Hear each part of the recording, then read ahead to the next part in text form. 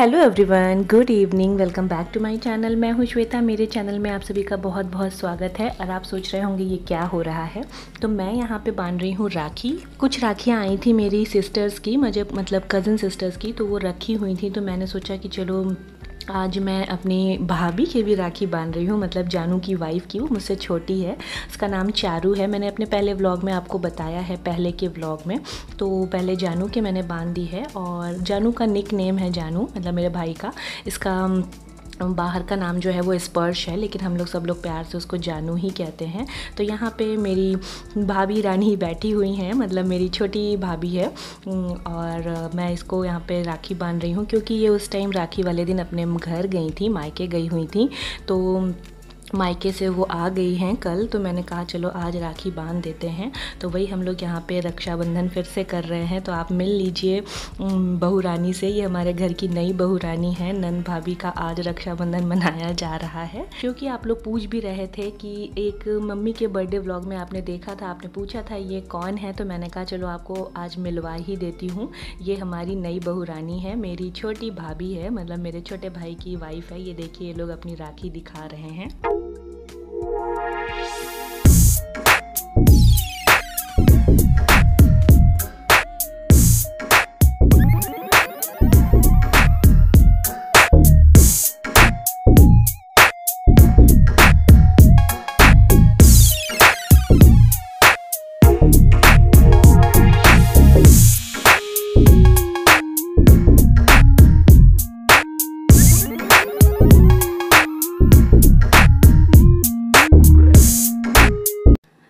बन गई है, मैंने मिठाई भी खिला दी है और मुझे अपना गिफ्ट भी मिल गया है और यहाँ पे मैं अपनी छोटी भाभी को आशीर्वाद दे रही हूँ मतलब चारू को आशीर्वाद दे रही हूँ। हम लोग बातें भी कर रहे हैं, मज़ाक भी कर रहे हैं और अभी कैंडल बंद कर रखी थी तो गर्मी बहुत ज़्यादा लग रही है। तो अभी हम लोग यहाँ पर फ़ोटो वोटो क्लिक करा रहे हैं तो फ़ोटो शूट भी हो रहा है और ये देखिए हम यहाँ पर ऐसे मैं दिखा रही थी कि ये मुझे मिला हुआ है। और अच्छा लग रहा है। आप लोग भी ऐसा करते होंगे ना, जब आपकी भाभी जाती होंगी मायके जब आती होंगी, फिर राखी बांधते होंगे तो वही आज यहाँ पे भी हो रहा है।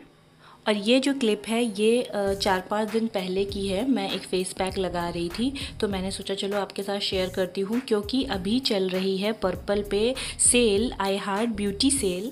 जो कि चार से आठ अगस्त के बीच में है। तो अगर इस बीच में आप शॉपिंग करते हैं चार से आठ के बीच में तो आपको up to fifty percent off मिलेगा। साथ में मैं आपको एक कूपन कोड दूँगी जिसमें कि आपको एक्स्ट्रा टेन परसेंट ऑफ़ मिलेगा। तो मैंने सोचा, चलो, आज ही मैं आपके साथ ये फेस पैक शेयर कर देती हूँ। तो मैंने यहाँ पे लिया है सैंडलवुड पाउडर तो आप अपनी क्वांटिटी के हिसाब से ले लीजिए। और इसमें मैं डाल रही हूँ पर्पल का ये है टर्मरिक एसेंशियल ऑयल तो एसेंशियल ऑयल आपको किस तरह से यूज़ करना है, वो मैं आपको बता देती हूँ। कभी भी एसेंशियल ऑयल आप डायरेक्ट अपने फेस पे बॉडी पे मत यूज़ करिएगा, वो आपको हार्म पहुँचा सकता है। जब भी आपको यूज़ करना है तो वो आप अपने किसी भी फेवरेट इंग्रेडिएंट के साथ ही यूज़ करें, चाहे वो मुल्तानी मिट्टी पाउडर हो, चंदन पाउडर हो या बेसन हो, इस तरह से फेस पैक पर आप यूज़ कर सकते हैं, या फिर आप किसी ऑयल के साथ भी इसको यूज़ कर सकते हैं। और भी बहुत सारे तरीके हैं एसेंशियल ऑयल को यूज़ करने के। और कोई भी नया प्रोडक्ट यूज़ करने से पहले आपको पैच टेस्ट ज़रूर ज़रूर करना चाहिए तो इसमें सारी बातें मेंशन हैं और जो इसका प्राइस है वो वन नाइन्टी नाइन रुपीज़ है।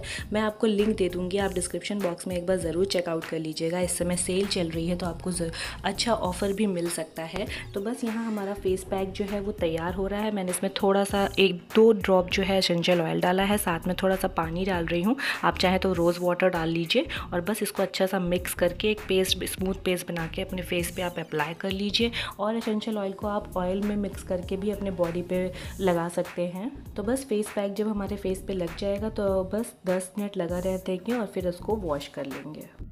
और इस एसेंशियल ऑयल की जो क्वांटिटी है, वो 10 एम है मतलब 10 एम की बॉटल है और कांच की बॉटल है। थोड़ा केयरफुली आप इसको यूज़ करिए और बस फिर आप इसको यूज़ कर सकते हैं और ये आपको एक अच्छा ग्लो प्रोवाइड करेगा।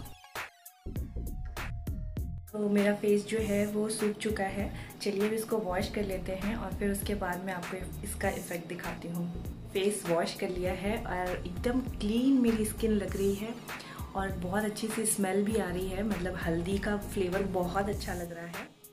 तो ये अभी शाम की क्लिप है और यहाँ बनाने जा रही हूँ मैं आज गार्लिक नान। तो मैंने कहा, चलो, आज मम्मी को मैं गार्लिक नान खिलाती हूँ, पापा को। तो यहाँ मैं आटा सान रही हूँ। आटे में मैंने डाला है नमक, थोड़ा सा सोडा और इसमें थोड़ा सा नींबू डाल देंगे, एक चम्मच के करीब। और फिर इसको हम पानी से ही गूँथेंगे और मैंने आपको इसकी पहले रेसिपी शेयर करी है अपने व्लॉग में। जब मैं मुंबई में थी, तब मैंने शेयर करी होगी आपके साथ और ये यहाँ पे नींबू डालने के बाद थोड़ा सा ऑयल डालेंगे, जिससे सॉफ्टनेस अच्छी आती है नान में।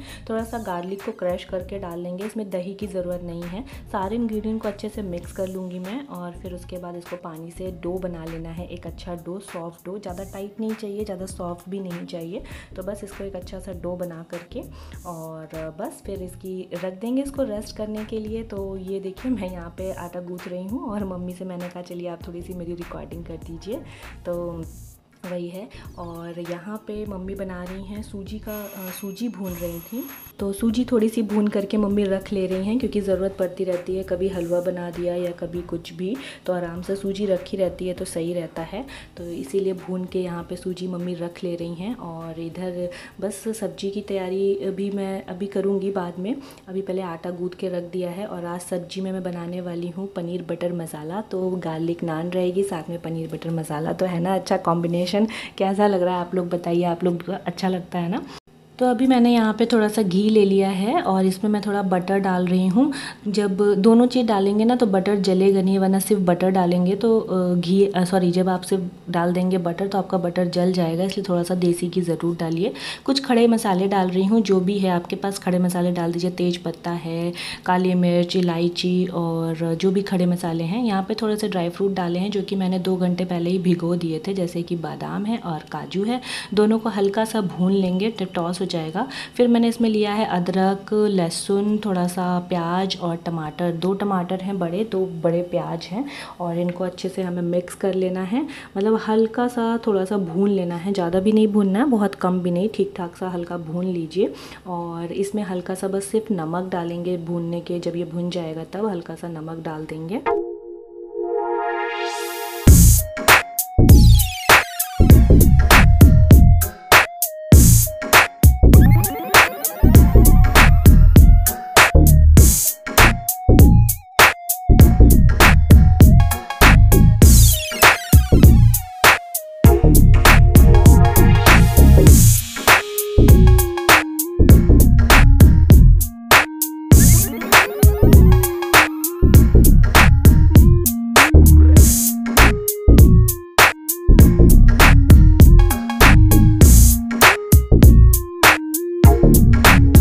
तो अभी मेरा जो मसाला है वो ठंडा हो चुका है और अब मैंने फिर से डाला है बटर और थोड़ा सा देसी घी। उसी कढ़ाई में मैंने वॉश नहीं किया है। इसमें मैंने डाला है कश्मीरी लाल मिर्च। इससे आपकी सब्ज़ी का कलर बहुत अच्छा आएगा और वो जो मसाला ठंडा हुआ था प्याज लहसुन और अदरक और प्याज टमाटर का उसको मैंने पीस लिया है ठंडा होने पर ये देखिए एकदम स्मूथ सी ग्रेवी हो गई है। अब हमें इसको भूनना है ज़्यादा भूनने की ज़रूरत नहीं पड़ेगी क्योंकि हमारा पहले ही मसाला भून चुका है और कोई ज़्यादा मसाले नहीं पड़ेंगे क्योंकि मैंने इसमें कश्मीरी कश्मीरी लाल मिर्च डाली है, उससे कलर भी आएगा और हल्का सा टेस्ट आ जाएगा।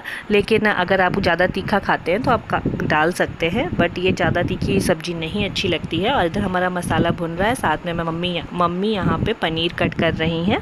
तो बस जब पनीर कट जाएगा और मसाला ऑलमोस्ट भुनी गया है, थोड़ा सा पानी भी डाल देंगे और मिर्च डाल दूँगी। बाद में क्या, कसूरी मेथी डालूँगी जब हमारा मसाला भुन जाएगा।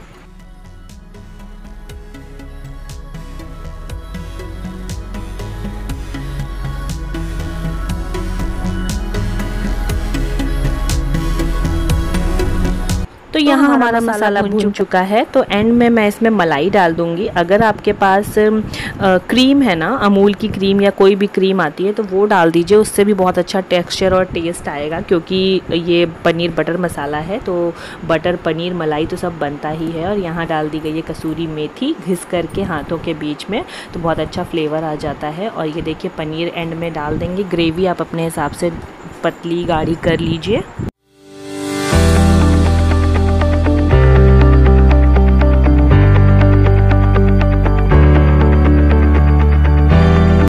हमारी सब्ज़ी बन के तैयार है। चलिए अपनी गर्मा गर्म गार्लिक नान बनाते हैं। तो नान बनाना भी मैंने आपको पहले ही बताया है। बहुत ही इजी सिंपल सा है। आ, बस आप पहले नान को बेल लीजिए और देखिए मैंने इसमें क्या क्या लगाया है। धनिया है गार्लिक है मतलब लहसुन और कलौजी जो ब्लैक कलर की कलौजी होती है ना वो। उससे देखने में बहुत अच्छी लगती है आ, हमारी नान। तो अभी देखिए मैं आपको एक बना के दिखा रही हूँ और दूसरी अभी मैं फिर से आपको बेल करके दिखा दूँगी।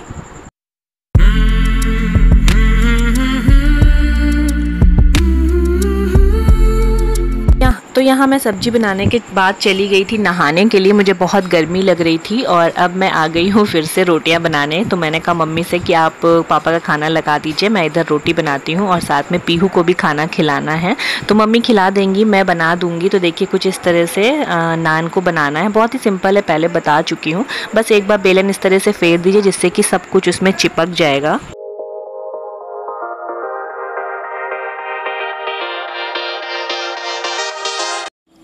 कैसा लग रहा है? अच्छा लग रहा है। क्या बनाया मम्मा ने? हम्म। टिकिया अच्छा लग रहा है? पहली बार का बनाया है? बहुत टेस्टी फल है। अच्छा। तो पीहू ने खाना खा लिया है और अब हम मम्मी का और मेरा खाना भी लग गया है तो अब हम लोग जा रहे हैं डिनर करने के लिए। चलिए, मिलती हूँ कल के व्लॉग में, तब तक के लिए take care bye bye good night.